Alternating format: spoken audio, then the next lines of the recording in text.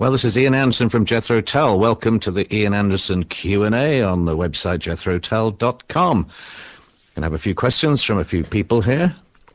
And uh, it's a sunny Sunday afternoon here in England. I should be out walking with the cats. But never mind.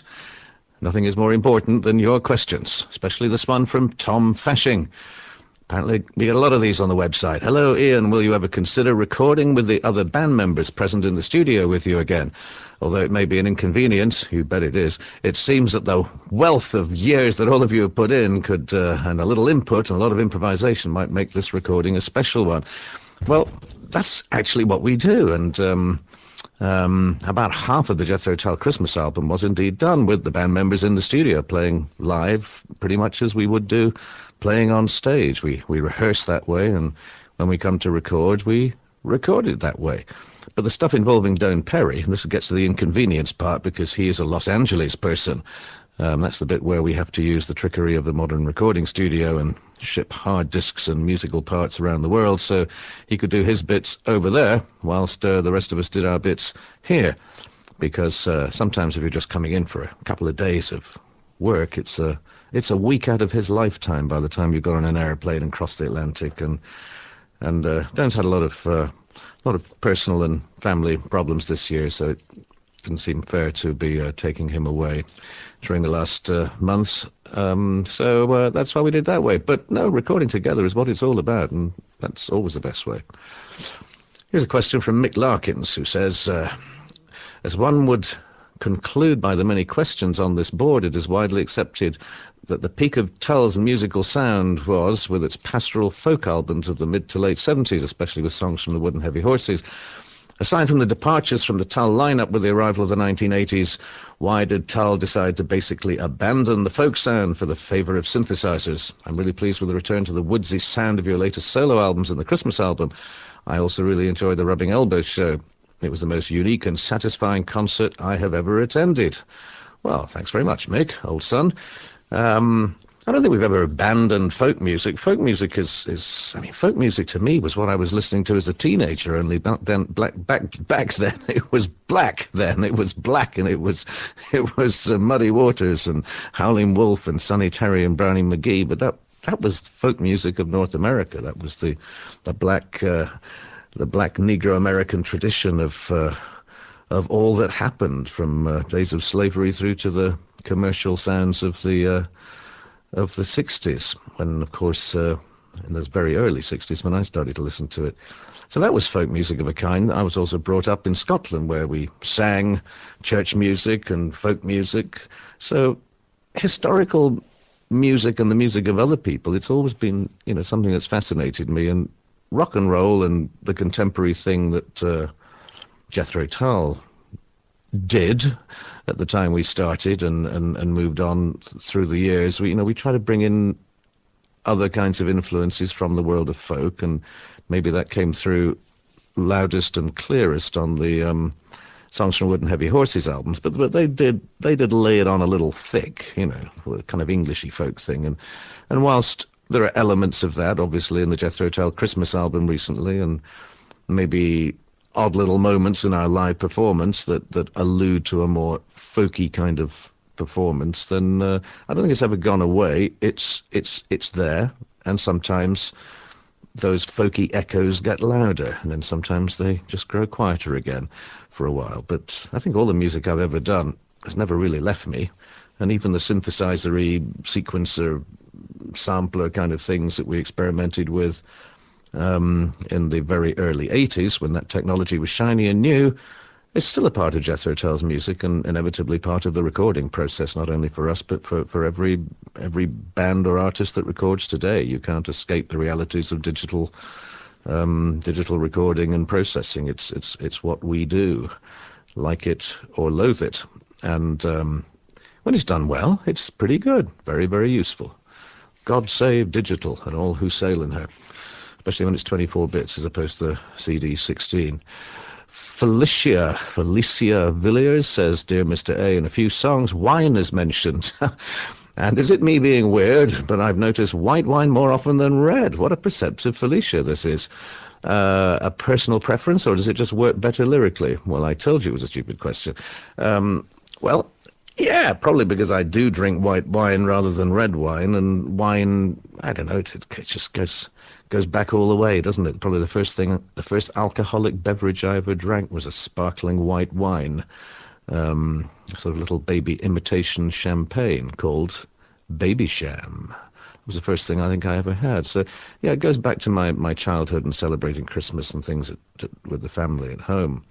And wine in the biblical sense, and wine in the uh, in the uh, in the geographical sense. It's the reliable drink when you travel around the world. Sometimes uh, sometimes you can be a little disappointed, especially drinking white wine in faraway places like India, which is not known for wine production. Um, it can be a little rough, and um, and uh, but you know it's good. And now wine wine comes into the lyrics white more often than red. Absolutely right. If I drank more red wine, then it would be in the lyrics more often but I don't, so it won't. There you go. Well spotted, Felicia.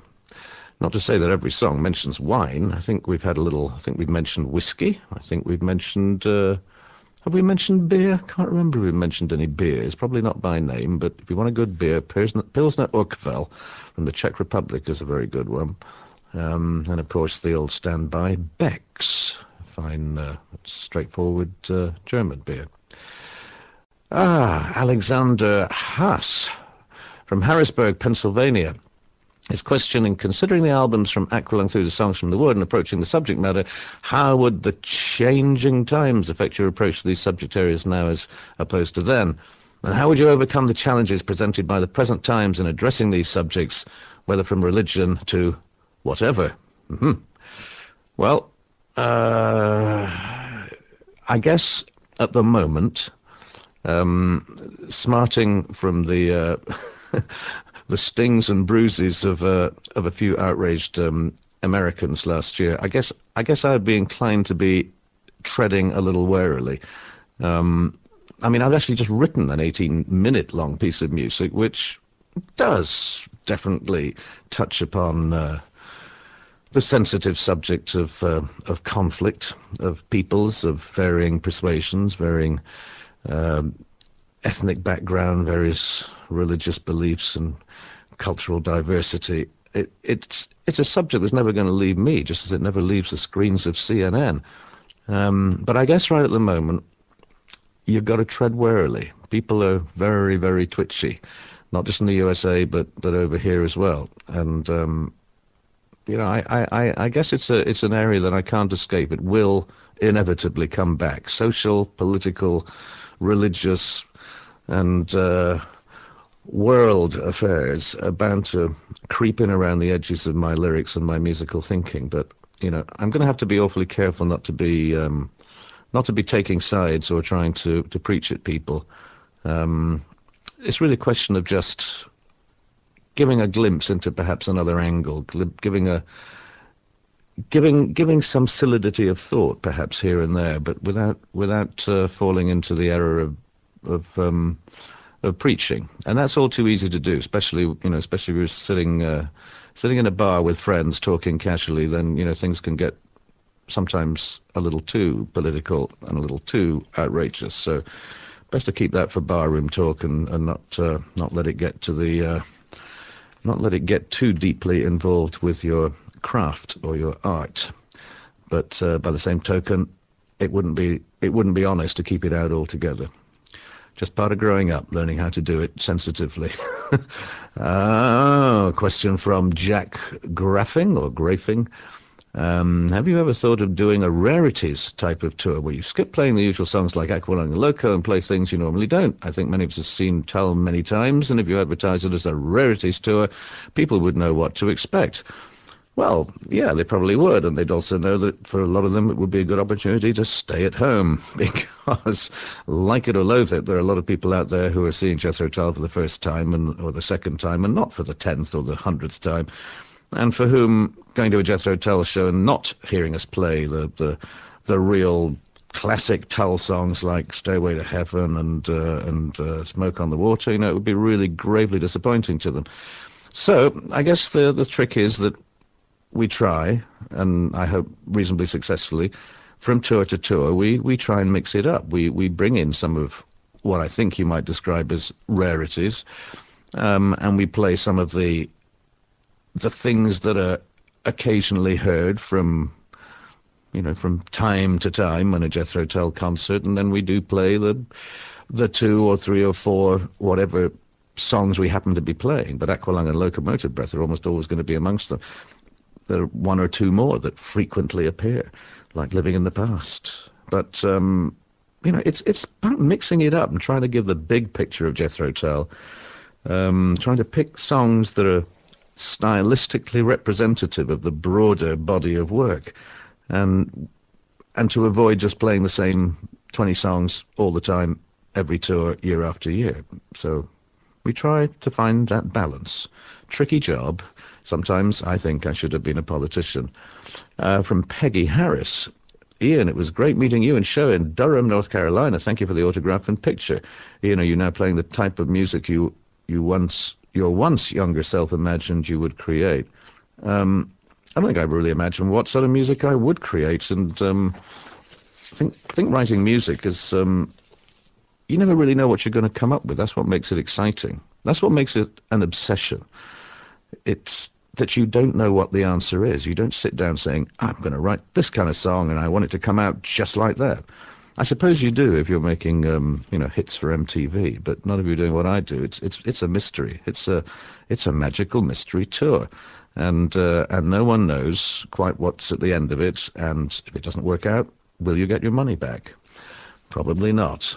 A question from Carol Harry or Harl? Is there any chance in the near future that we could be hearing Reasons for Waiting? Fire at Midnight, Summer Day Sand, Slow Marching Band, or Cold Wind to Valhalla? In the set list, perhaps on the next tour, please say yes. I'm tired of waiting. Um, you have so much more to offer than Aqualung and Locomotive. Yes, and uh, Fort Wayne, Indiana, the concert was great. Well, thank you, uh, Carol. Um, well, the ones you mentioned, uh, you know, we have done those reasons for waiting as has appeared in Jethro Tull concerts in the past. It's on the on the list of things to to be chosen from again. Fire at Midnight, another one we've played in the past. Some of those sounds I don't think we have. Slow Marching Band probably played it way back when. Cold Wind to Valhalla, we played some of that once uh, a while ago. But it's a tricky one because it involves uh, radically retuning guitars, so it's not that practical to do on tour unless you bring a separate guitar just for that one song, which I'm too lazy to do. Um, but yeah, you know, there's some of these songs, and indeed uh, many more that you could have mentioned, are on that uh, on that big list of about uh, 150 songs that are the ones that are seriously likely to be drawn from on tours. And from time to time, that gets amended as we discover, oh, we could play that one after all. We haven't done that forever. Like uh, recently, we started playing the song called. It was on the Christmas album, and it wasn't Fire at Midnight. It was the um, other kind of folky song, Wood Heavy Horses kind of song, which entirely escapes me at the moment. But it's just so damn good. It's probably my brain shutting it out, so as not to um, not to uh, not to give the game away for me next time I play it, when it'll be a total surprise to suddenly have it flooding back in my mind. No, it's still not going to come back. It's a great song though. Uh, from uh, maybe it was maybe it was Carol Hart. That's who it was. Was it Carol Hart? Carol Hart? Yeah, maybe it was Carol Hart. Um, from Lou McMillan, with the success of the Osbournes on MTV, what are the chances you, Shona, the kids and the cats might score your only family reality show? The Andersons could be big on Animal Planet. Hmm. Well, the thing is, in in our household, it's actually incredibly boring and normal. You know, we don't really have um, we don't really shout. We don't have fights. Um, nobody's terribly badly behaved, including the cats, and so it would be a it would it would be the kind of reality show to send people to sleep because it's just so incredibly normal and so incredibly boring, probably to the outsider. It would have absolutely no commercial value whatsoever. But um, in that way, you know, we're probably like I would hope, like most families, you know, nothing, nothing very exceptional happens. And if you ham it up for the cameras and invent, you know, scandals and outrage and bad behaviour in a lot of four-letter words, then um, I suppose you could make a lot of money. But um, I don't think that's quite for me. Privacy and uh, and an honest family relationship are really much more important than um, than being on TV, especially on um, MTV or whatever, which I don't have a lot of time for, as you possibly know. Uh, from Paul Farmer. Over the early years of your career, you've shared with us your carnal side, snot running around, snot running down a nose, willy kissing, late night roll your owns, feminine curse laments. Hmm. The last few years, I've seen a more mystically minded Ian with quite a number of spiritual ideas expressed in albums like Roots to Branches, Divinities, Rupi's Dance, and even Secret Language of Birds and Dot Com. Well, there was a penis on the cover of that one, he says, in brackets. I like it all because I don't necessarily see carnal and spiritual as always being mutually exclusive, and I'd love to hear you talk a bit about the carnal and spiritual in your life. Are you in a state of flux? Um, no, Paul. Um, I mean, the, the the carnal side, the sort of naughty side. Let's not call it carnal. The naughty side, the silly, smutty schoolboy side is just a. It's actually probably really a bit tedious, but it's it's the odd belly laugh, it's the odd bit of fun, it's it's the odd little twinkle in an old man's eye. Um, it's schoolboyish, it's it's it's sort of dirty old men, um, all at the same time, and a little bit of that is okay, and a little bit of that is fun, and some of the stuff that crops up in lyrics, whilst it may be, um, it may on the face of it sound like it's a bit naughty or a bit smutty, but you know, I, I like to think it's usually there in some way to reflect real life and the real world, just as elements of things a little more spiritual or esoteric, or I hope part the real life too. And so, yeah, they can they can live happily side by side. Um, I'm not sure if um, if Jesus ever heard a, a dirty joke or, you know, um, doubt that he ever told one. Otherwise, it'd be in the Bible, wouldn't it? Um, but you know, I, I, I, don't, I don't think I don't think we have to sort of shut that stuff out. It's just um, difference difference in in listening to comedic thought and in enjoying and sharing a belly laugh. It's it's when it when it when it becomes part of your cruel reality in the way you interface with people, then it gets a little scary. And so, always got to be careful if you're a if you're a if you're a funny kind of guy talking about sort of rude and dirty, funny kind of things, then um, it's it's just a it's just a moment of entertainment. Once once you get too deeply immersed in that stuff, it, it gets to be pain in the ass for everybody, and and possibly kind of overtakes your um, you know, the better parts of your personality. So like most of what I've been saying, you know, it's all about keeping it in balance, isn't it? Um, uh, Dan Shettini um, says, uh, your opinion on the recording industry, lawsuits on downloaded internet songs. Well, I mean, it does seem incredibly heavy-handed, doesn't it? And um, I'm not sure whether scaring people off is the way to uh, change their habits. Uh, I think it's um, it's on a par with sort of going in guns and tanks blazing into Fallujah, isn't it? Whoops, no, I said I wouldn't talk about those sort of things.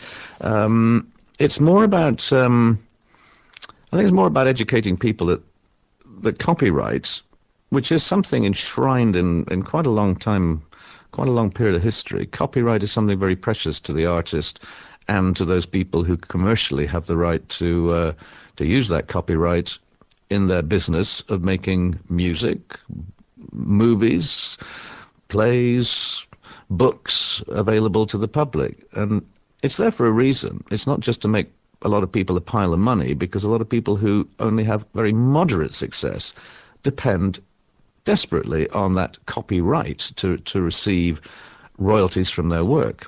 And um, remember, most people make records, for example. It costs a big, big pile of bucks to do it. And you're not going to get paid back, usually, for quite some time to come. Even if a record company give you an advance, it's only an advance set against the royalties they hope you will earn in the future.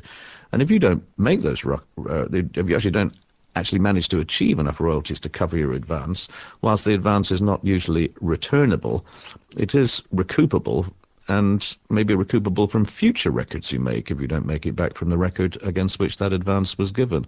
So you know, nothing is for nothing. Most most musicians really do depend upon it, and although some people make obscene amounts of money, and you know, I suppose by by some standards, I've made obscene amounts of money, but it's all the, all the folks who make not so much money but still depend on that system. That's why the system is important to keep alive, and therefore, um, and it's important also for the record companies to have that right to make a profit.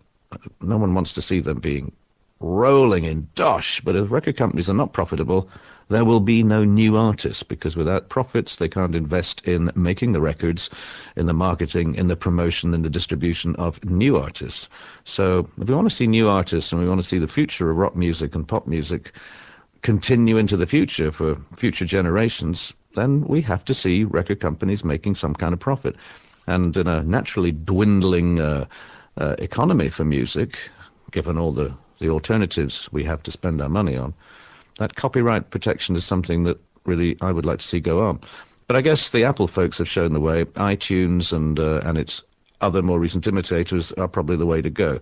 And so paying a small but meaningful amount of money to download music does seem more appropriate and more satisfying. And and um, you know, 99 cents a track. Hey, you know, could you could you say, could you put your heart or your hand on your heart and say that um, Smoke on the Water wasn't worth 99 cents to you, you know, or um, A Whiter Shade of Pale, or or Jimi Hendrix singing Purple Haze, or or Led Zeppelin singing uh, one of a, a dozen great tracks. I mean, 99 cents for to have that forever? Boy, it seems cheap at the price to me. Well, there you go. So, um, Bob Martin, Bob Martin, have I ever journeyed to Key West and visited Hemingway's abode to see his uh, his cats? Well, interesting that because uh, actually my wife and I very nearly did go to Key West, and we actually still have it on the uh, you know on the list of things to do. And uh, yes, I did know about the cats, and uh, I'm a sucker for cats, feral cats living you know kind of wild and relatively in a, rather parasitic way in in in, um, in city society, and um, you know, you, you always get broken-hearted because you befriend some little animal and feed it or bestow some affection on it, knowing that its chances are probably not that great in the long term. And um, uh, so it's one of those things, you know, get get uh, get a little uh, a little uh, a little upset about uh, when you have to leave those little fellas. Um, same with little dogs. Met, met a real. I'm not a big doggy person. I met a really nice dog on a beach in India um, about two or three months ago, and um, it was just a puppy, and you know it might survive and it might not, but it was actually just a really nice little dog. You know, very nervous, but once once we'd made friends with it, it was um, it was a real pal, and happily. If it did have rabies, it, it uh, if it did have rabies, it didn't bite me. So um, took a chance and uh, and did what I don't usually do. I fondled a dog. Yes, I admit it. I was, I was friendly to one of those stinky, slobbering canine things. we have two of them who live here in the house, and uh, and um, you know, nice enough chaps in their way, but uh, I'm a pussycat kind of person. Ah, Rick Fontaine says, whenever I watch the 20th anniversary video, it's kind of heartening to note it won't be long now and we're nearly doubling that mark. Mm-hmm. Um, right. Um, from what I read, you seem keen on continuing as long as you're able, which I think is great, but do you ever consider how you'd like to mark Tull's swan song when the time comes? First record by its own title was conscious of being a first document of who you were. What kind of statement might you like to ascribe to your last album? And for that matter, what kinds of things might still be on your wish list for when your career might, or where your career might take you musically, geographically, or otherwise? Well, goodness me, you're not going to think about um, planning your own demise, surely. It's a bit like writing an epitaph. I mean, uh, no, I think, I think, uh, I think whether I have a year or ten years or whatever in front of me, then I'm not going to start thinking too consciously about uh, this is the last one. This is time to bow out, and, and this is uh, a contrived exit. I think, um, and I have thought, and I still think, that if I found I was not going to make it, if I had some terminal disease and a few months to live, I, I, I might well record some music. I might well do another tour, but I don't think I'd be I don't think I'd be going out there to make it something um, specially um, and directly attributable to the idea of of death. Um, no, I think I would just carry on until uh, until the grim reaper tows me away, without uh, without getting too um, too poignant about that uh, that moment in terms of making music and writing lyrics. Now I think I'll just wait till it happens and carry on doing what I'm doing until then. Karsten Bergman asks, "Is it obvious?" No, it is obvious. Sorry, this is a photocopy here, so I'm stumbling over words. It is obvious that you and Jeffrey were and are very close friends. I would like to know how Jeffrey inspired and affected your views on art, music, life, etc. during your teenage years in Blackpool, during those very creative Tull years 71 to 75, and what were your feelings when he left Tull? Come on, be honest, in brackets.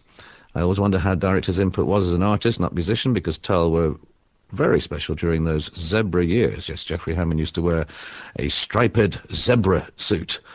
Um, in fact, um, he used to juggle with balls that came out of a zebra's bottom. The zebra was a pantomime zebra composed of. Uh, can't remember who the front half was. I think the back half was Dave Morris, one of the one of the audio technicians who worked with us in those years. Yeah, Jeffrey was uh, was a, was a school pal uh, when I was about 16 years old. I think when I first met Jeffrey, and um, we shared an interest in art, in the visual arts and uh, I persuaded him to attempt to play bass in our first band that we had when we were at school with John Evans, Jeffrey, myself, and an assortment of fourth members. Um, but Jeffrey wasn't really that mad keen on uh, on pursuing music because a he didn't feel sufficiently able enough as a musician, and b he did prefer to uh, to paint and draw, and so we all went off to seek our fortunes in the, the big city down in London, and Jethro Tull was formed, by which time Jeffrey had gone to art school down there. And so um, we met up again in the early days of Jethro Tull. Jeffrey used to come and see us play and was a, a supporter of the band, um, a slightly eccentric character, usually out on the fringe of the audience in the Marquee Club.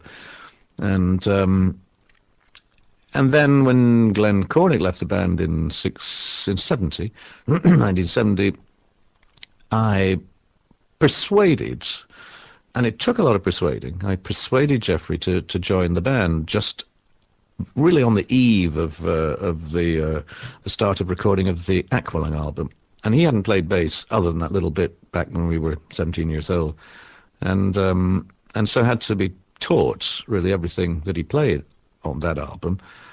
And uh, when he joined the band, he made it very clear he was only going to stay in the band for a limited period of time until he hoped he would have made enough money that he could um, uh, afford to retire and become a full-time painter. And that is indeed what he did. And he counted his pennies. And by the time 1975 came along, he decided it was time to go.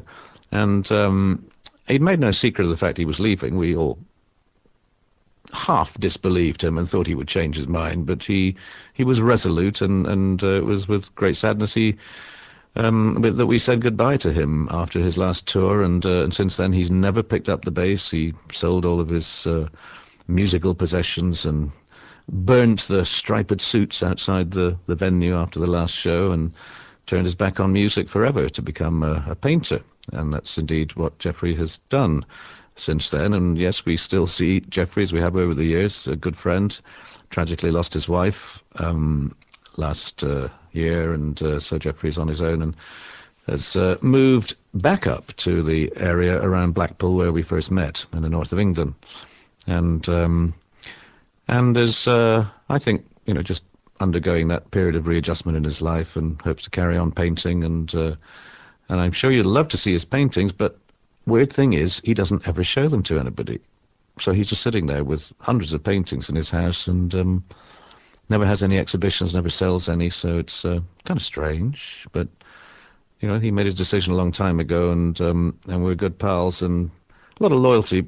You know, there not only from me, but John Evans and Barrie Barlow, who I see from time to time. You know, still. Uh, you know, kind of loyal friends to Jeffrey, and um, and we're all, um, you know, as we get older, we I think, see the positive sides of our our past musical relationship, even though those guys don't play music anymore, and uh, you know we still keep in touch. Um, we could crack open a beer and talk about old times, except we're not that sort of people, really. Um, okie dokie. Um, that was uh, Karsten. Uh, Christopher, Christopher Sin. In the early 90s, you gave an interview about your flute playing in which you revealed that thanks to your daughter, you discovered that you'd been using incorrect fingerings while playing the flute for all those years. You said you felt that some immediate action needed to be taken, and consequently, you learned how to play it properly. That was a long question. It was at that time your playing and approach to flute turned a corner. It was also the time you started implementing bamboo flutes into your songs. Um, um, blah, blah, blah, blah, blah, blah, blah, blah. Uh, more of the flute is in the music now. Arguable the level of difficulty has increased. Did proper flute playing lend itself to the direction of your music? Um, blah, blah, blah, blah, blah, blah, blah, blah. Why the decision to use bamboo? Blah, blah, blah.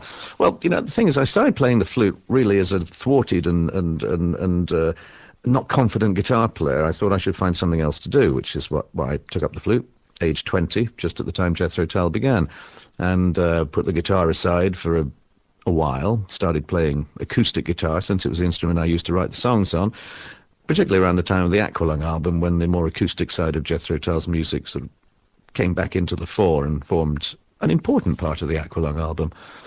But for a long time, flute was a trademark. It was something I did. It was something I enjoyed, but I had limitations and, and felt felt more more of a songwriter rather than just being a flute player. You know, that was what I did, but it wasn't all that I did, and, and so I try to keep the flute in perspective, that it wasn't the most important thing. The most important thing was the end result, the whole song, the whole arrangement, the band playing together.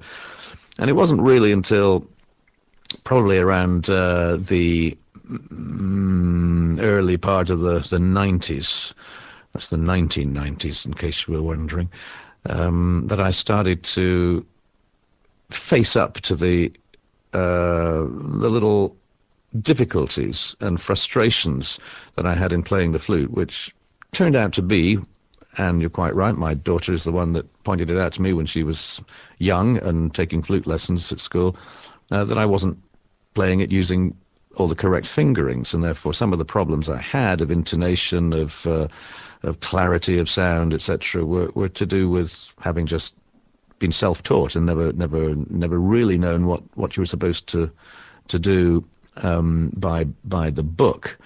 And so um, I did spend about four or five months really working on my flute playing, trying to learn to do it properly, but without losing the thing that I, I had done all those years previously. So what I play now is um, mostly orthodox in terms of fingering, but I do use the odd, uh, you know, sometimes use harmonics and uh, things that are probably not in the classical repertoire that that give me that rock edge, and also you know are reminiscent of some of the the use of flute as an ancient instrument in in the other folk cultures um, around the world. So bamboo flutes and other kinds of uh, um, primitive wooden flutes are, are part of what interests me increasingly about the instrument. So I think of myself, I think of myself much more as a, as being a flute player these days who happens to sing and strum a bit of guitar. But um, yeah, I, I got a lot more serious about it, and that, that on balance has to be a good thing because I do find I pick I pick it up and practice, and I pick it up and play things for fun, really every day. Uh, it's not. Um, and I keep it clean. I keep it all shiny and polished and, and swab it down afterwards and uh, disinfect it. do whatever needs doing to a to an old man's flute. Um, so I do take it a lot more seriously, and I have a lot more fun with the instrument and uh, do enjoy it. Uh, Joseph T. Sustrick. I am a 53-year-old youngster that fell in love with the Jethro Tull music when I first heard it on the radio in the U.S., either in 68, 69, or 70. Um, early college years, memory somewhat foggy. To date, he has almost all of the the CDs, with the exception of one or two, very similar to my Beatles collection. Here's my question. Well, I thought it was coming sometime. With all of the great creativity you have in writing music and to play with some of the best in the world already, why do not Ian Anderson and Martin Barre, together with the others of your choosing, team up with Paul McCartney and write produce some fantastic songs together? mix of your talents would be astronomical. Please consider it. Well, you know, Martin actually has played with Paul McCartney. He was summoned to, by Paul McCartney to take part in some recording session once. Uh, don't think it ever saw the light of day, but uh, Martin has actually been in a recording studio with Paul McCartney and and strummed his guitar for Paul. But I never actually met Paul McCartney and, and was frankly never much of a Beatles fan. And, and in that kind of Lennon McCartney um, musical diversity that was so important to the Beatles, I guess I always kind of fell on the side of um, favouring uh, the Lennon kind of music. It just seemed to have a little more edge to it. There was a little more something cynical, sometimes funny. Paul was a little bit more, um, you know, just a little bit more organized, a little contrived, a little mundane, very skillful pop songwriter, but but somehow lacking that edge that Lennon had, which I guess is why they worked so well together when they worked together. But those sort of relationships rarely go on forever, and uh, Paul since has done his thing, and frankly, it's not my thing. So um, I don't really think we would have much of a um, a com- much musical compatibility, I think. Uh, and anyway, Paul McCartney's a big, big star and out there doing his uh, his Paul McCartney plays Paul and the Beatles music to to adoring uh, young and old audiences throughout the world. And and you can understand he's a bit older than me, and you know he, he's he's going to want to do that until he drops because he's got a lot of places to go, a lot of people to play to, and and I think is probably hugely enjoying live performance and uh, and continuing stardom. Um, I don't think Paul's in the kind of mood to be collaborating with uh, oddballs like me who don't really think in uh, in pop music terms. But thanks for the thought. You know, if, if John Lennon was alive now, then, then maybe, then maybe I would uh, I would uh, um, certainly answer the phone call if he was to uh, to call me. Now then, uh, Dave K, just Dave K, I think, um, is uh, says, "What was this song about when Jesus came to play?" Huh. And um, well, um, I have no idea actually. It was um, I don't. I think I think we probably played it on stage just around the time of the release of that album, which I think was Catfish Rising, wasn't it? Um, but uh, yeah, just just one of those songs that sort of touch upon um, Christianity, the role of Jesus, the folklore of Jesus, the myth of Jesus, and the real man Jesus um, which I guess is what really fascinates us about Jesus. He was a real fella. He wasn't just some some mysterious uh, smoky being, some uh, some uh, spiritual force somewhere deep in the bowels of the universe. he was a real real person.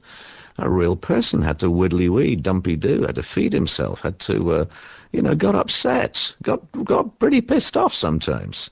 So that's what fascinates us about Jesus. That there's and and why he seems uh, somehow touchable and reachable, and yet and yet distant and remote and uh, all at the same time. That's uh, that's the mystery of uh, of taking the great prophet and and deifying him.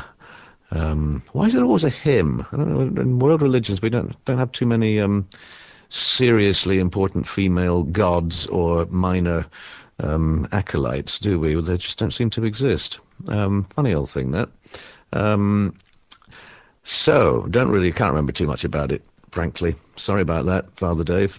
Um, Tommy Kovacic, imagine someone gave you a time machine and you decided to travel back in time to 1968. What do you think Ian Anderson, who had just recorded This Was, would have thought if you gave him the opportunity to Rupi's Dance for the Christmas album? Um, probably would have thought, oh boy, that sounds a bit difficult. I don't think I'm going to be able to play that. But you know, that was um, that was then, and starting off, as was so important about starting off playing or imitating black American blues was that it gave you the opportunity to find your way in music, to start off with simple motifs, simple ideas, simple elements of improvisation, and and you could build upon them and develop them and find some of the joining up notes and joining up rhythms and, and harmonically, you know, take it off and be a little more adventurous and get away from the, the three chord trick, the 12 bar blues. So, yeah, it's, um, you know, I, I guess looking forward from then and thinking about the enormity of, of the uh, musical the variety of different musical types and sounds and influences and techniques that, that had to be absorbed over the next 20 or 30 years, it would have seemed very daunting. But, um, you know, I guess it would be if you're a doctor. you, you, start off on day one thinking, oh, I don't think I'm going to be able to remember um, what that bit's joined onto, and if I had to cut it out, would I cut out the right bit? Um, if I had to remember the name of all the drugs, I'd never be able to possibly remember them, know what to prescribe. Well, it's all daunting until you actually get it into your thick head. Just like music. You've got to start somewhere. You'll learn as you go along. Hey, Robert Rookrig? Robert Rookrig? Wriggle? Wriggle? Rookrig? Uh, odd name. Robert. Anyway, Robert from Coram in Long Island, New York. Um, forgive me with the names here, but you know it's a photocopy here. It's a bit blurred. I sometimes can't really make out the names, which are probably pretty damn weird anyway. Hello, Ian. If you were to write an album where from the get-go you knew it would never have to be performed live, what sort of music might we hear? Would you write it in the same keys used to pre-1984? Now, you tailor much of your current material with a live show in mind. Keys that are easier to sing, not too hard on the voice. I wondered if in your, in your heart you'd really like to belt it out like you were 21, but touring realities make that not possible. Um, yeah, that's that's um, an interesting topic, but you've got to get this one in perspective. Um, there are certain songs, and believe me, I'm not the only one to do this. I think everybody does that in the recording studio. You know, when you're relaxed, when you're hydrated, when you're uh, you know fully capable of it, extending and going out on a limb. Um, that one day in ten or that one hour in twenty uh, that you feel particularly good about your performance and you can just go that little bit further, you record a song in a key that really is just, you know, going to be seriously difficult to replicate on stage. And a lot of people do that and and are forced either to dodge the high notes by changing the melody a little bit just to sing something that harmonically works but just dodges the odd high note. Um, or maybe you just don't sing so many of them um, in sequence, so it's a little easier on the voice. Or maybe you actually just take the key down a, you know, a, a, a, a semitone, two semitones, whatever, to make it uh, to make it a little easier. And and I do that and have done it since recording many of the Jethro Tull songs. You know, they've they've been done a different way. But there are some songs that, that probably I now always sing a little lower than I did. Aqualung being one of them. Um, Locomotive Breath, on the other hand, another one we play every night in concert, is in the same key, same tune, sung just, just the same as, as I did it when I recorded it on the record. But, you know, I don't, I don't have a very big range in my voice. I mean, I only have a useful, um, I mean, not even, not, not even a useful two octaves. I mean, I'm really limited. Most people have a strong two, two and a half octaves. Some people can sing confidently three octaves, you know. And I, my voice is a bar. I'm a Bing Crosby. I'm a baritone kind of guy. Um, there aren't many of us in rock music. Probably David Bowie would spring to mind as also having a, a naturally lower set voice than uh, the typical rock male. And so, um, you know, we, we tend to uh, perhaps have more limited range and we perhaps uh, are a little more cautious with what we do on stage, knowing how easy it is to damage the voice and playing night after night after night. But um, I think what I try to do is, is not think about keys. I mean, I'm songs sound good in certain keys, and so you know you construct a melody um, where it, it works for you in a given key and maybe you think, well, okay, I can do this on the record, but when it comes to doing it live night after night, then I'll just, you know, pitch it lower or maybe just change a line of the melody to make it easier to sing. We all do that. You know, I'm sure it happens in classical music too. I'm sure there are there are probably some kind of almost official dodges available for opera singers that, you know, on a night when they know they're not going to confidently sing that high C, that there are acceptable alternative uh, um, melodic moves you can make that people say, oh, you know, the, the, the, the, the wise and super aware will say, oh yes, Pavarotti didn't sing that part, you know, he sang, you know, he sang the lower note instead of going for the high note. They'll spot it, whereas of course I wouldn't, not being an aficionado of that kind of music. But I'm sure that must happen. I'm sure there are, I'm sure there are sort of semi-official ways of dodging the issue, but that doesn't mean that you know, from the point of view of the, the spirit, the, the, the essence of the song, the emotion behind the song, the thought behind the song, the, the heart and soul of the song, it, it doesn't necessarily mean that you're giving people secondhand goods. it just means that you avoid making too much of a fool of yourself by failing to uh, to hit the high notes. And, and I've actually worked with some singers um, when I've just been you know playing with other people. Um, as a member of the band, and I've worked with some people who I, I know are absolutely struggling, and my, my heart goes out to them because I know from a personal point of view, you know, if you're if you are if, if, if you're stuck with it, you know, you're really going to feel humiliated when you come off stage and you've done a terrible performance. And uh, and so um, singing other people's music, it, it's, it's probably a lot harder. If you're singing your own music, you probably have ways of uh, getting around it, but uh, not when you're working with other people's material. So um, it's it's a tricky one. But hey, you know, I I, I still uh, sing the Jethro Tull repertoire, and uh, I would guess, um, you know, things, uh, songs like you know, Heavy Horses, Too Old to Rock and Roll, Locomotive Breath, Living in the Past. You know, these things are all in their original keys, and uh, you know, one or two things that uh, that I play are are uh, are dropped, to, you know, uh, um, semitone or a whole tone. Um, I've even done aqualung actually in uh, in even a lower key where we in an orchestral version where the whole nature of the song is changed, the whole arrangement is changed because it suits it. It's not because I can't sing the higher notes, it just suits it, having this rather more somber um, way of uh, of doing it.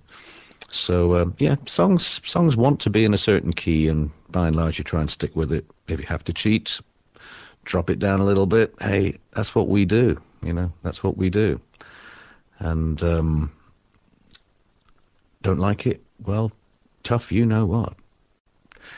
Um, bum, bum, bum, bum, bum, bum. Carl Myers says the serious one. The electric Tull albums, A, Broadsword, etc. Hmm, electric? Seem to have a love or hate them reputation amongst fans. I happen to enjoy them myself as well as Walking Into the Light. What's your opinion of the works after a couple of decades have passed? Um, and what did you take away from that era musically? Um, I think I'm not sure what you mean by electric there, uh, Carl. Um, A was uh, was kind of very uh, synthesizer. Eddie Jobson was the keyboard player. Uh, Broadsword uh, was Broadsword is an album. You know that that's much more. Um, I think that's much more of a typical Jethro Tull album myself. You know, quite quite quite uh, European, little folky things and ideas come into that one. Um, um, but you know, sure the two albums that I like, I'm not sure that uh, that I quite understand what you mean by electric because uh, even you know albums like uh, more recent albums like uh, Roots to Branches or Dot Com or whatever, you know, we're still using those same kind of instruments. They're still very much electric. I think if anything, maybe the division is that Jethro Tull as a band recording will tend towards more electric recordings because Martin Barre is primarily an electric guitar player and Andrew Giddings plays electronic keyboards. And so the electric stuff is kind of the band, and the more acoustic things I tend to um, tend to construct for solo projects and um, music that is essentially just more acoustic and more um, um, more the kind of music where I don't have to worry about including those electric instruments, um, because I know that uh, I don't want to disappoint the members of Jethro Tull by saying, well, actually, I don't really need you on this track. If you don't mind just sitting at the far end of the studio and reading the newspaper while I finish recording it without you, um, wouldn't go down too well. So, you know, I think I try and include the other guys in more of a more of an electric context. And when on stage performing some of the acoustic stuff, they have their arms twisted to play accordion, not the most popular instrument in town, um, or backstage at a Jethro Tull concert. Um, it's um, it's it's really you know I suppose pushing people to do something that maybe they're not so comfortable with anyway. I think they enjoy doing it on stage, but it's just not what they really enjoy, which is playing a lot louder. And you know, Martin Barre is a rock guitar player; that's what he enjoys doing. And whilst he does play acoustic guitar as well, I I, I think I think he doesn't enjoy it nearly as much as playing electric. So that to me is uh, an indication that I write music to include Martin that's going to be electric stuff primarily, and uh, keep the acoustic things um, more likely for solo projects or the little acoustic bits that we do on stage, which um, um, sneak their way into a Tull set. Terry Worth. Terry Worth says, Ian, could you tell me who are your heroes? Who do you look up to and why? They may not necessarily be musicians. Uh, met one of my heroes actually a couple of weeks ago at breakfast in Germany, whose name um, is uh, Mikhail Gorbachev. And uh, Gorbachev is probably, for me, kind of an important guy, especially today, because with the wisdom of an elder, uh, if somewhat despised statesman, at least in, in his own country, um, you know, the, um, the, there's an authority and a presence about him which hasn't disappeared as he's got older. He's, he's a very strong and forthright person, but he's also a listener. You know, he can look you in the eye and listen to what you say, even though he doesn't speak English, but via an interpreter. And and I'm actually just really reassuring to meet somebody that you've admired over the years for his.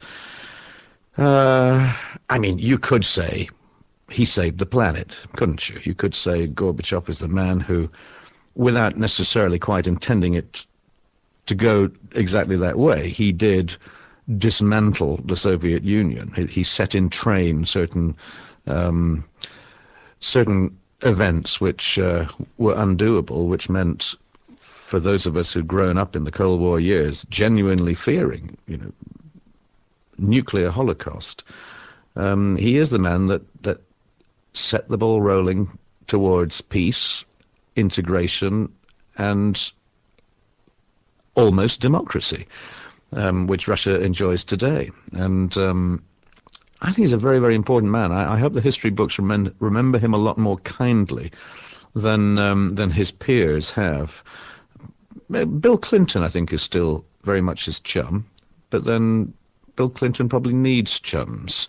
And um, he'll certainly find one in Gorbachev who spoke warmly of Bill Clinton, who had sent Mr. Gorbachev a letter only recently, just uh, keeping in touch and being in a friendly kind of uh, um, uh, peer group, uh, old politician, old leader kind of uh, uh, club.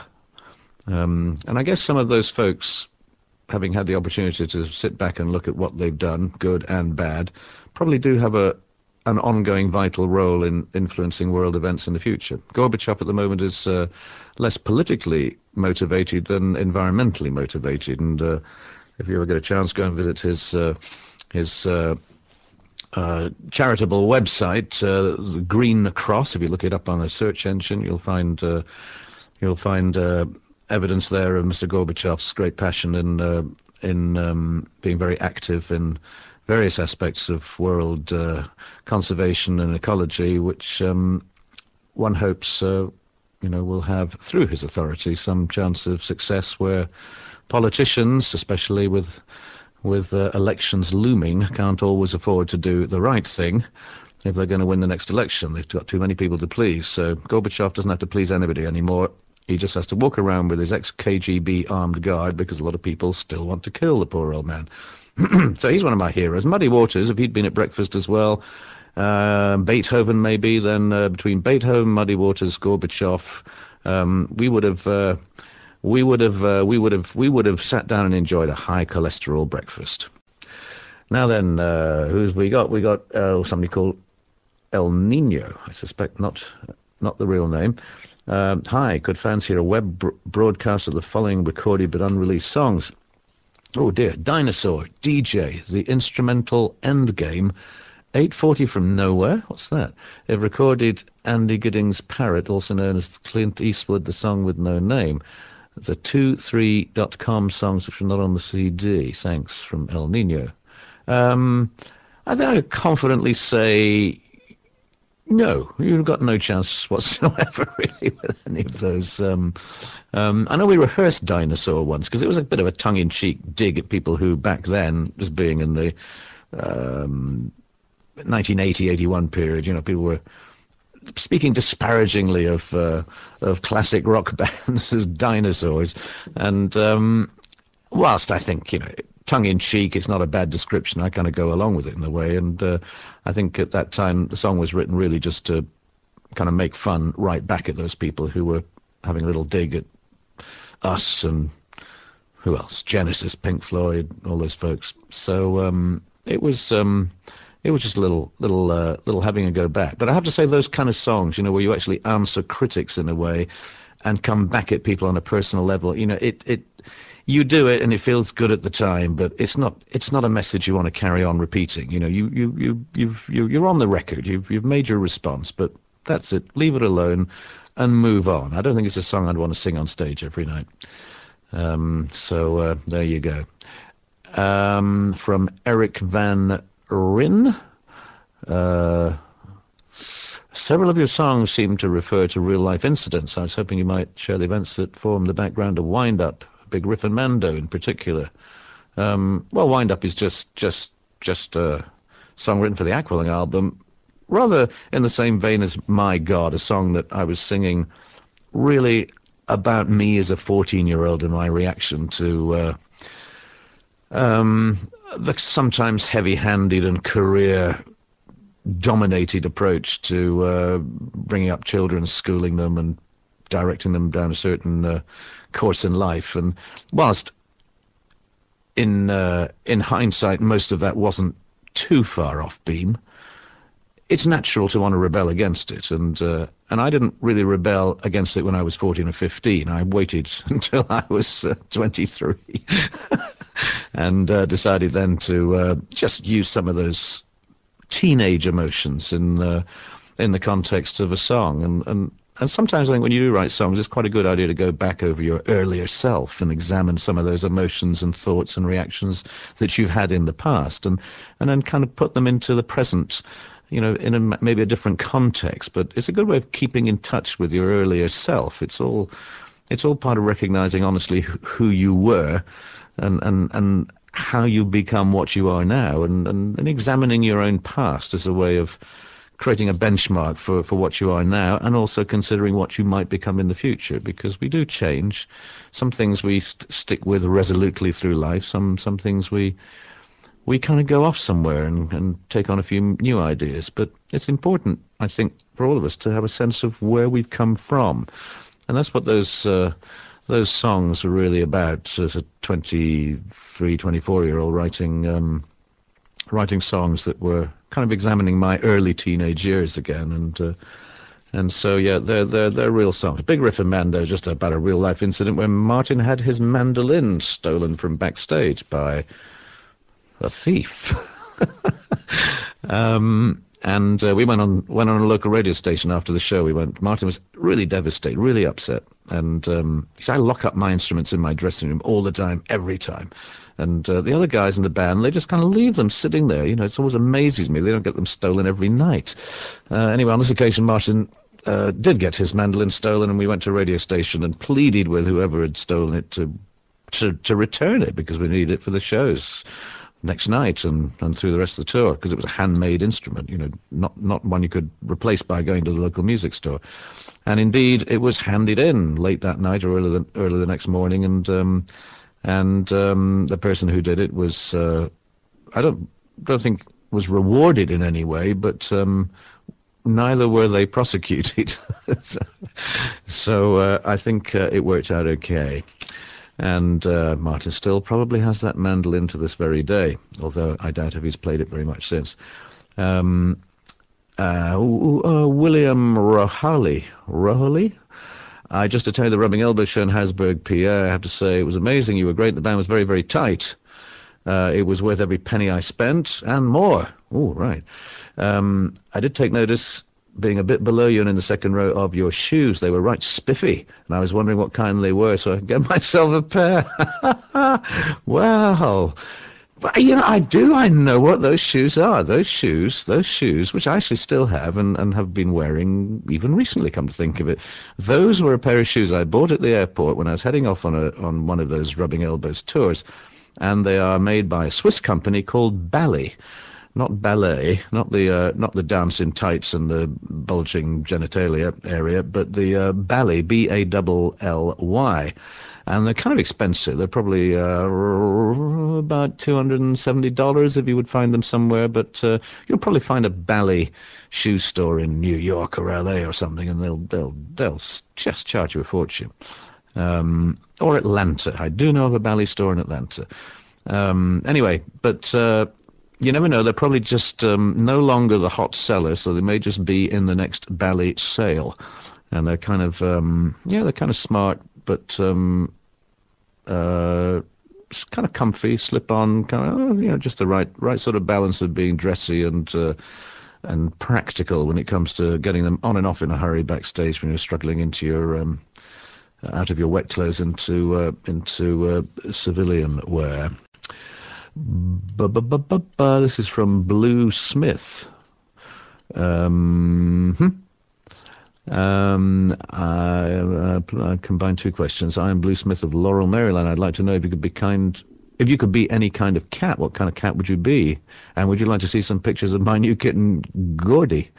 Um, well, I'm not sure that I would like to be a cat. Um, if I had to be a cat, then I'd want to be a cat in our house because they have a pretty good, uh, they have a lot of room to, to, to move around. You know, big house and then big outdoors. They've got kind of 10 acres of fenced off area that they can call home. So they have a pretty good uh, um, and relaxed um, life.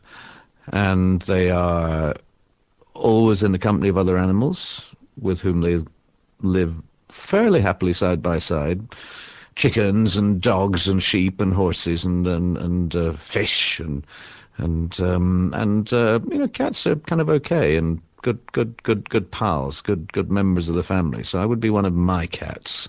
I don't think I'd want to be a wild cat because. Um, on average, you know, if a, if a litter of ca- of cubs is born to a wild cat, big or small, whatever whatever uh, species, you know, the chances are that you know one was going to survive out of you know maybe a litter of three or four or five cats. It's uh, uh, it's it's nature's a rough rough place, you know. So I don't think um, it'd be like being born a human before the age of antibiotics.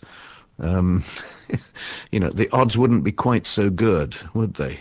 So if you were a cat, you'd want to live with me. Trust me. Um, uh, Ed Jennings says, um, what are your plans for Rubbing Elbows 3 2004? Well, actually, I don't have any because I'm on tour with Jethro Tull most of this year, apart from some orchestral shows that I'm doing in uh, Italy and Germany and France. Um, uh, only really doing one Rubbing Elbows-ish kind of show in Edinburgh uh, in August. I believe the 20th, if you happen to be in Edinburgh. I think it's the time when the Edinburgh Festival's on. Good time to go to Edinburgh. Um, but uh, yeah, mostly on tour with Jethro Tull this year, and um, and uh, and uh, Ed would like me to add the format to include more about my interests and take some multimedia tributes to Jethro. Oh, see some multimedia tributes to Jethro Tull. Reminisce about life on the road with Tull band members you've become friends with over the years. Hmm. Um, yeah. Well, I'll think about that. And um, but you know the whole point about doing the rubbing elbows thing is it's just got to be off the cuff, and I don't really don't really start off with prepared speeches or or or reminiscences. That's not really what it's about. It's more about kind of dealing with the here and now, the you know playing the music, and then having questions from audience and and topics and and things that just are completely a surprise because you don't know what's coming next. That's why it's fun because it's conversational and it's real, and um, and not a rehearsed um, delivering of lines and anecdotes and um, and uh, and the reminiscences part, which I'm not very good at really. I don't reminisce readily or happily. I think about the times gone by, but only only for long enough to get get it in perspective, and then uh, don't like to dwell on it, and don't particularly want to share it with other people most of the time. Um, so, if you another question was, you know, would I write my my autobiography? The answer is I don't really think I've got enough to write about because most of most of my time is actually spent being a bit of a loner, and therefore there aren't so many players in my autobiography. you know, it's a small cast. and um, and a lot of them don't have lines to say anyway. so uh, yeah, another reason I haven't done an autobiography. Um, moving on to where we after Ed. Okay, we're with Jeff Stone now. How would you equate your obvious love and concern for the animal kingdom with having made a lucrative nest egg from slaughter and in the past supporting others in hunting for sport? Where do you stand on the blood sports and in particular fox hunting and the Countryside Alliance? Well, goodness me. Um, I haven't made a lucrative nest egg from slaughter. In fact, I've been involved involved in aquaculture as a fish farmer. Um, and like other farmers who farm livestock of any sort, then you do get to that moment where you have to say, I am not a vegan, I am going to eat the flesh, and I'm going to have to kill it first, since it's usually a lot more convenient when it's not trying to escape from you while you're biting into it. So, um, yes, slaughter. We actually call it harvesting. Uh, we don't, uh, you slaughter, you slaughter cattle, don't you? you slaughter sheep in a slaughterhouse, but we uh, we fish farmers are uh, altogether a, um, uh, a more sensitive bunch who refer, refer, to it as harvesting, and so we harvest the bounty of the sea, um, and uh, they're quickly uh, whacked over the the snout, uh, which is how if you're a fisherman and you ever caught line caught fish, you'll know how to kill a fish, hopefully quickly and hopefully painlessly. Um, fish are also sometimes anaesthetized with carbon dioxide, um, which uh, puts them to sleep uh, prior to uh, cutting them behind the gills, whereupon they are bled, not because we're uh, kosher, but because uh, getting the blood out of the fish means that it can be uh, safely transported in ice and with much, much reduced bacterial action, so the fish stay fresher longer. Um, but I don't do that anymore. I haven't been doing it actually for, for a few years now. I sold, leased, and merged my aquacultural interests with other companies, and I have really nothing to do with it on a day-to-day level, and haven't done for a while. Um, so I'm not actually involved in that anymore. Um, but I do eat fish, and I don't eat that much meat. I eat a lot of vegetables, slaughter the hell out of them. if I'm in a mood, uh, Brussels sprouts are not safe from me, believe me. Um, God, cabbage, I could just, just, just nail it. I could nail it at 50 meters. Um, with a trusty handgun, which I'm not allowed to have anymore because I live in the UK and we don't have uh, guns of that sort now. Um, in blood sports, yes, I, I, have done a bit of uh, shooting of animals, but um, uh, stopped that for reasons that really had to do with not eating them a lot anymore. I just, uh, I'm not a vegetarian, but I just don't eat that much meat. And once I, once I found myself not really wanting to eat the things that I had shot, then I didn't want to shoot them anymore, and so I didn't. And countryside sports, well, you know, I have a lot of uh, acquaintances and, and some friends who are still actively involved in country sports, in uh, in uh, shooting game, in fishing, in uh, and and fox hunting.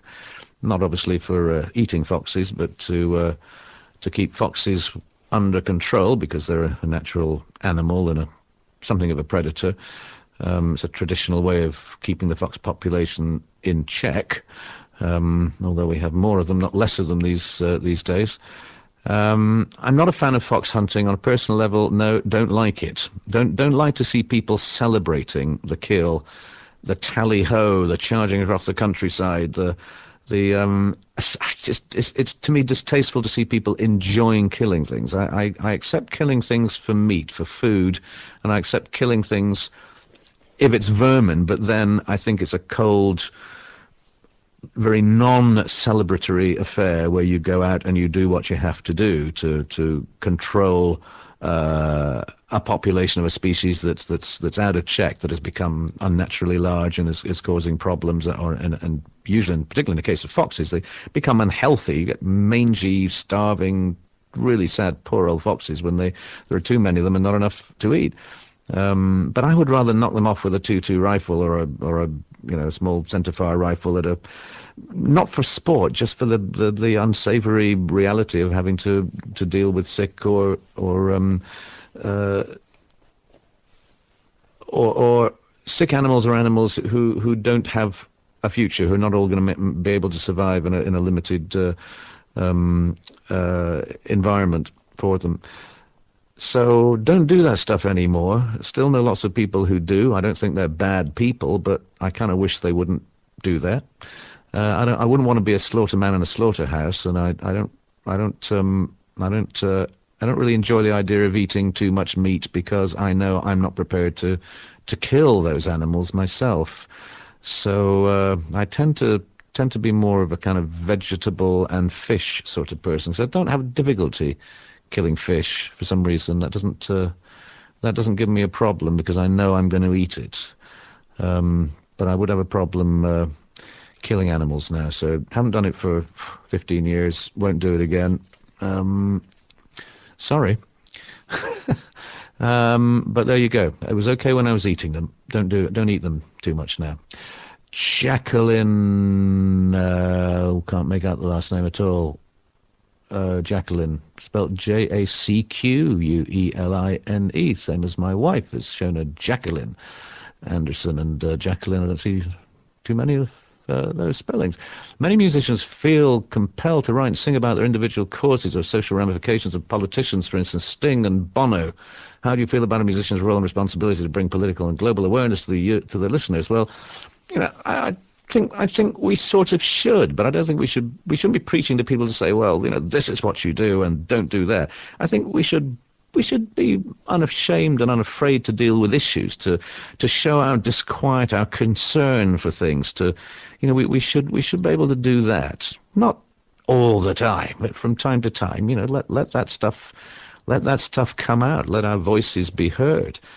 But you know, we're not there to. Um, to try and force change. We're there to raise subjects, to show some detail, show some perspective, show some some other point of view. But you've got to do it in a judicious and careful way. And um, I think if you look back on the careers of Sting or Bono, you know, you're not going to first and foremost think of them as political agitators or or um, you know, politically motivated poets, songwriters, or whatever. You look back on a bunch of hit songs, you know, songs you tap your foot to, songs you you hum along with in the car. That, that's basically what these guys do. Um, but you know, I think uh, I think it's pretty good that they do, and they take a lot of flack for it, but they do make their their um, their points. Um, they make them known and um, particularly in the case of Bono, who's much more forceful about it. It makes him uh, um, go more than one or two steps beyond where I would go in song or off stage, but uh, um, might I might I suggest he kind of sticks with some safe issues? I think he sticks with the things that are um, from a political point of view, are going to meet with a broad level of general support. Um, I'd be interesting to know if he was a little more, um, you know, if he chose some more unpopular issues, just how far um, people would extend um, the benefit of doubt or the or their loyalty to him. I wonder if Bono spoke up, told us his true feelings about uh, the Iraq war, for example you know, would he do that, or would he think, "Whoops, no, that would that that that would that would seriously, you know, that would seriously engender uh, more than just debate. That would uh, that would uh, that would upset a lot of people." And I'm sure he must have strong views about it, but you know, I think maybe he just chooses his uh, public causes more carefully. But that's just the cynic in me saying that. Hey, what do I know about Bonner? I've never met him, but uh, seems like uh, seems like a nice enough young man.